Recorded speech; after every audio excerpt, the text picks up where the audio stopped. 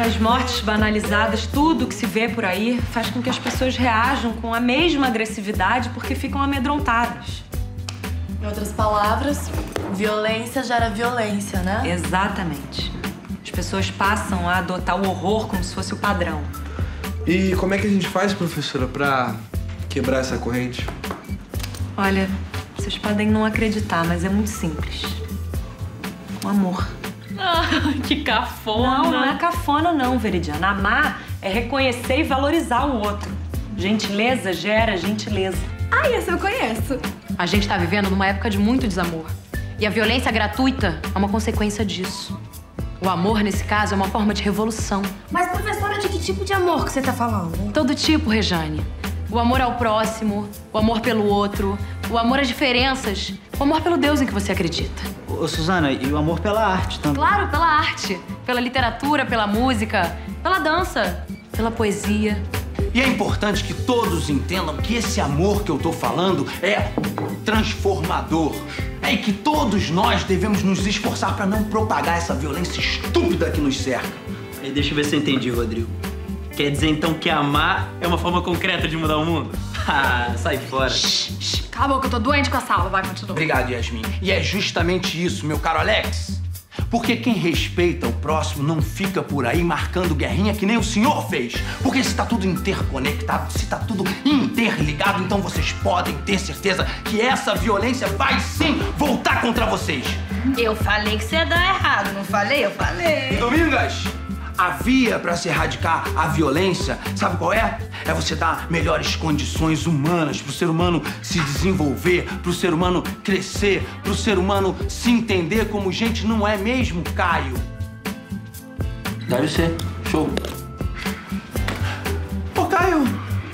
Tô aqui lhe observando desde o início da aula. Você tá aí com essa cara de poucos amigos, não está participando da aula. O que, que foi? O tema combate à violência não é suficientemente interessante pra você? É isso? Não sabe o que é, Rodrigo? É que esse papo de que todo mundo tem que se amar me cansa. Ainda mais quando você fala que tudo começa dentro de casa. Ah, e não é?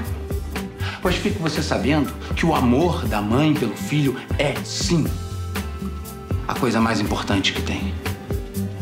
Você não sabe o que tá falando. Você não tem ideia do que tá falando.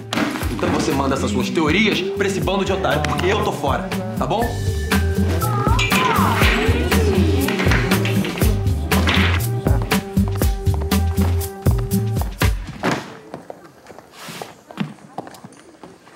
Fala bonito, calma, amigo.